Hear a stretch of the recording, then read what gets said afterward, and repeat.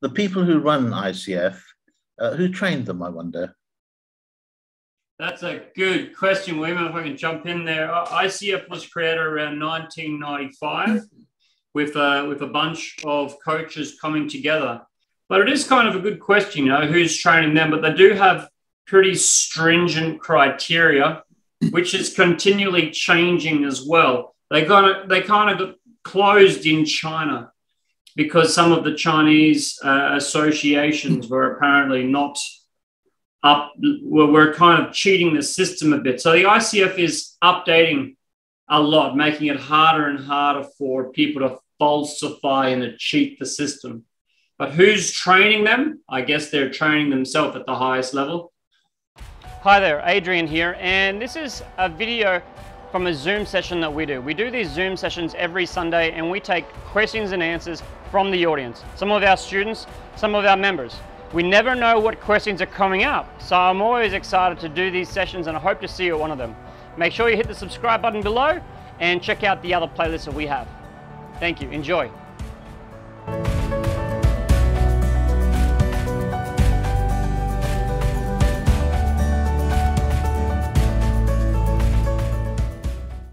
If you sorry, if you go back to this ICF model, yeah, um, where do you implement the NLP? you had this 11 points. Where do you implement it? Can you?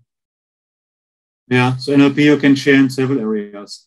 Building trust from the beginning when you're discussing with a client already in many steps. It's building trust with mirroring, leading and pacing.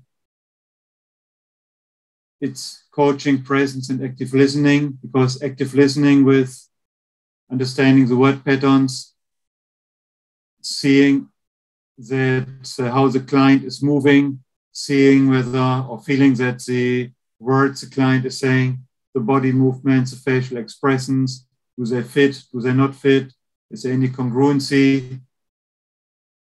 Powerful questions, for example, ask the question in the same VAKOG, VAKOG uh, way, it's an auditive question or it's a um, question for for seeing, it's a visual question or it's a feeling question. So there's a lot of ways how we can use NLP. If there's an answer, you can look for the eye patterns, how the coachee gives the answer, and can also understand how the coachee is given an answer. So, in my opinion, there are a lot of ways how we can bring in NLP to this to this coaching model.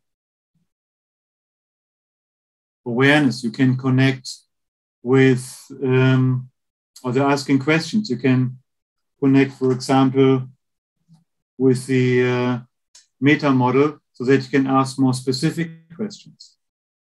Awareness, you can create with the Erickson model, with the Milton model, so that the client can bring his own ideas to define what he wants to do. So there are a lot of ways how to use NLP as a very good base in this ICF model. Think, yes, I cannot tell you where you can exclude it. If I think mm-hmm. about it, sometimes, of course, subconsciously I'm using NLP, but if I um, think about the 11 steps, I think I can use it everywhere. Accountability, I can use anchoring, goal setting, mm. I can use the congruency. So even when I'm not master practitioner, with my NLP practitioner, I can already think about a lot of ways how to use it for coaching.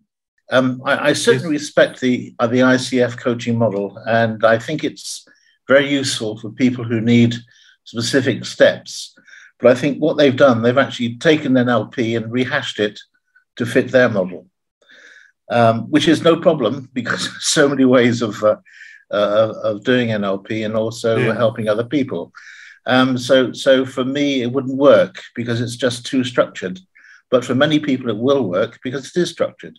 So, you know, fine, whatever fits the individual, I think, really. That's my opinion. I think it's good for China. China is very flexible, sometimes following the rules, sometimes not following the rules. Most important is find, finding a result. So I, I agree. Sometimes I follow the model. If I make a test, I have to follow it. But finally, most important is that the client has a positive result which he wants. Mm. I think that's most important. Yeah, I'd like to comment here as a practitioner, having done more of NLP and hypnosis before embarking on the ICF certification journey. I do find it a bit challenging at times to sort of fit in that box of 11 with 11 dimensions. I think we have, have a good summary that sharing experience is okay when it's done in the right way, with the right intention. And I think ICF model is a good way also to support, but it should not be taken as 100% granted every time. Because for me, it's also interesting when I talk with some ICF coaches that try to share experience, or I try to go out of the model that I said, but this is not ICF standard. Sometimes, if you want to provoke a person, or if you want to shake a person a little bit, you can also be a little bit directive if you have the intention that the coachee thinks about what he is doing, that the coachee find his own way. If somebody is too lazy, I sometimes also give them a direction that they're destroying their life if they are too lazy and that they should really start not change their life, otherwise they will not do a change. Not allowed an ICF model at all, but people think about it, and if they really come to a change, I think that's uh, what I what what was really my target.